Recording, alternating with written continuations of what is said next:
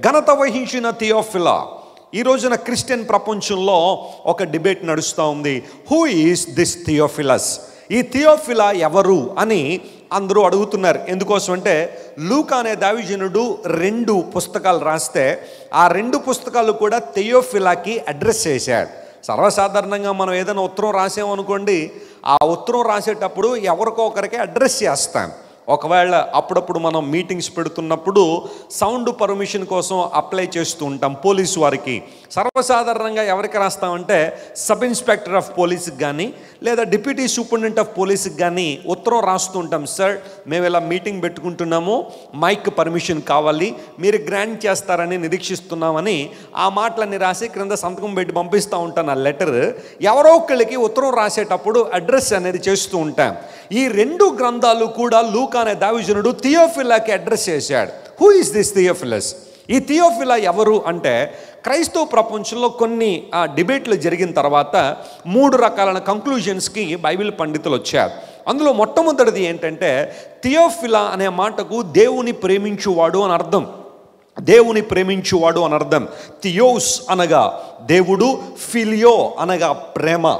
Theophilus అంటే దేవుని ప్రేమించేవాడు అని అర్థం.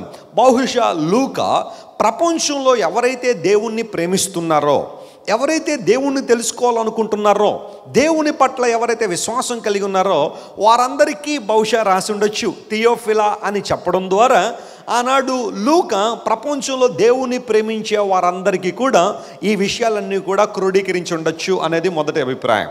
రెండవ అభిప్రాయం ఏంటంటే మొదటి శతాబ్ద కాలంలో ప్రపంచాన్నంతా ఏలుబడి చేసే సామ్రాజ్యం రోమా సామ్రాజ్యం.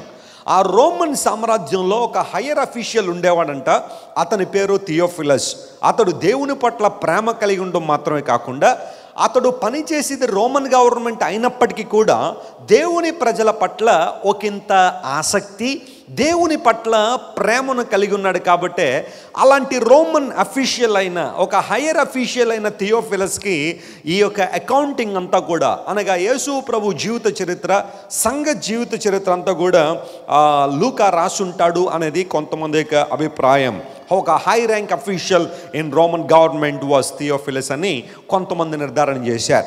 మరికొంతమంది ఏమంటారంటే ఒక ప్రక్క పౌలు ఒక ప్రక్క లూక ఇద్దరు కూడా పరిచర్య చేస్తున్న కాలంలో వారికి సపోర్ట్ చేసిన వ్యక్తి థియోఫిలా అంటే వారు దేవుని సేవకులు అనేక ప్రాంతాలు వెళ్ళడానికి దారి ఖర్చులు కానీ లేదా వారు ఉండడానికి బస కోసం కానీ వారు తినడానికి ఆహార పదార్థాలకు కానీ వారికి స్పాన్సర్స్ అనే వాళ్ళు ఉండేవారు.